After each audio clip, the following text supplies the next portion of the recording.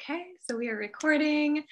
So, hi, I am here with one of my amazing previous clients, April, and we're going to talk about our work together and kind of where she's at and where she got to. So, she came to me, she was broken up with her boyfriend. They ended up getting back together during our time together. She just got all this femininity and feminine energy flowing. And she navigated relationship challenges and attachment triggers. And now she's at the place where her and her boyfriend are moving in together. He is moving across the country to be with her. So she has quite a story. Um, so thank you so much for being here and being willing to just be an example for other women who are maybe struggling in relationships and with dating patterns of, you know, what's possible and, and where someone could get in really a relatively short amount of time.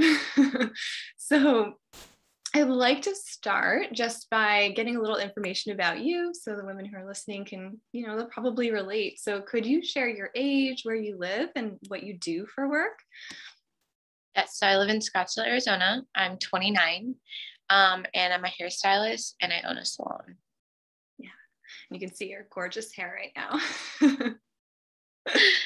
So I want to start with what was going on before and around the time that you decided to work with me. What were the challenges and the things that you came, you know, that you were dealing with and knew that you wanted to work on when you reached out to me? Yeah, so I knew that I had like relationship um, blockages or like issues and the way that I like perceived them.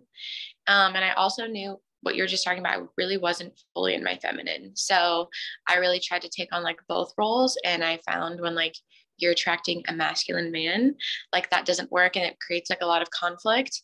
Um, and so I really didn't know how to navigate the waters of just like, how do I like let go of that and just like be vulnerable and actually like communicate and like speak up for myself. Um, I knew I had a lot of issues in that.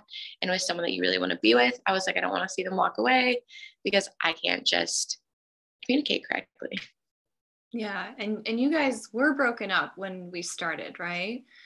And I'm not sure that were you wanting to get back together with him? Like, I don't not think so, right? I like was thought that I was done. yeah. Yeah. Like he Apple, I picked her wrong again. And then um honestly just doing like self work and then like implementing it, I was like, mm, maybe not. Yeah, yeah. And we'll, we'll get into that because I'd love for you to just share a little bit about the journey of like what happened during the course of our time together and you know, what were the biggest shifts that happened? What were the kind of big breakthrough moments for you? Um, just tell us a little bit about what happened. Yeah, I feel like I definitely didn't have like a regulated nervous system at all in the sense that when I was triggered, like I would just, for me personally, be like push everybody away. It was easier to do that. I was super avoidant. So I'd be like, okay, that's it, I'm done. Um, and the biggest thing for me was learning how to like find ease inside myself um, to go through like the places inside my mind that like help like kept me stuck and actually like deal with them so that like when things happen in life i don't feel like i'm always on fight or flight. I can actually just deal with them as like a normal person um, which just has brought me a lot of ease. Um, i also think too understanding how men are more and not expecting them to be how you are as like a woman as like they're a hundred percent like almost a different species like and so learning that like helped me so much understand like certain dynamics um and be like oh, okay that makes more sense. So yeah i think my biggest breakthroughs honestly were just honestly finding ease inside myself and then understanding that men are much different than women and that's how it's supposed to be and you want it to be that way and allowing that to be. Yeah and what would you say because i do remember there was a point at towards the end where you're like i i feel like i've actually embodied my feminine energy and like what was the journey for you for getting there? Honestly i feel like showing up for myself like every week with you honestly was And when you would tell me things, like I knew you were telling me for my best interest. And so I'd be like, shit, okay. And then I would go and actually practice the things you told me, like the homework you gave me, like I would do. And I feel like through a series of just like our months together, it was like a combination of just like putting that in practice day after day after day and integrating it that it, like literally it felt like one day when I was just like talking to him, I was just like, I think I can do this. Like in the sense of like my shield like went down. And I did feel just like this feminine essence of just I can be vulnerable, I can communicate correctly of like what I want. And something you told me too when you were like, you have to trust him and believe in the man that you like know him to be. Because if you don't do that, then he can't be that man for you. And when I did that too, like I just noticed a shift in him as well. And it allowed me to like step back and like sit back and be a bit more relaxed into being like, okay, I can just be a woman. I don't need to like have all the cards on the table in the sense of like I'm doing everything. Like and allow him to like have his role as well. Mm. Yeah, and I was going to ask you because I, I know during our time together, you did get back together with him, and I'd love to hear a little bit more. And for people who are listening, like what what happened? What was the path to getting there? Um, I'm like, let me honestly, uh, communicating, like genuinely commu- like clear communication, not like being avoidant or not saying what's on my mind or not honestly to addressing the situations in a relationship that are harder to address and just like making myself be like okay well if i have these questions instead of like spiraling in my head about this is what he could be thinking and this is what could be happening.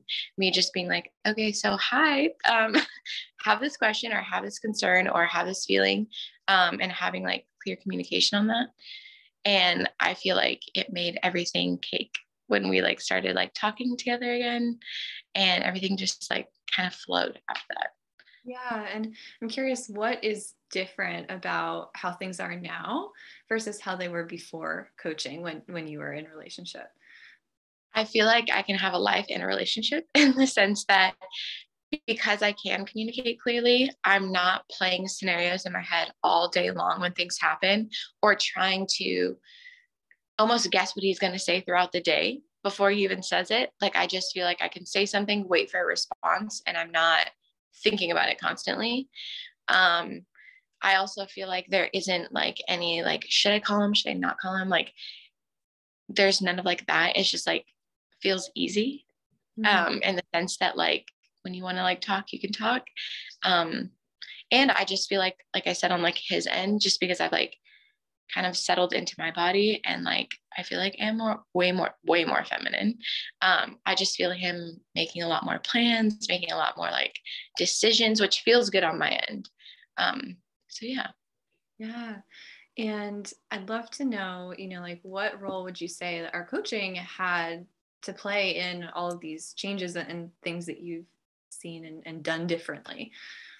All of them my life, like changed it. Because even outside of like our like my relationship with my boyfriend, I just hired someone and my relationship with her, I can tell is just so much easier. My relationship with my family is easier. Just understanding deeper on who I am and being able to like have the skills I have now, like a lot for me was communication. Obviously, I keep saying that.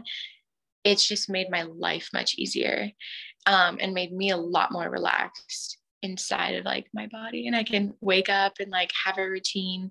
And honestly, a lot of the things that you told me, like when I'm in moments of like, obviously, maybe I'm like triggered or something, just remembering those and like implementing them. So now I have like, I feel like this like little toolbox of like skills that I can be like, okay, I'm going to need this one today, or I'm going to need this right now, or I need to remember this. And so that's like truly helpful. Um, just as like, since our like um, program together has been like done being able to have those things now to be able to like implement and continue to implement them just to keep going yeah yeah.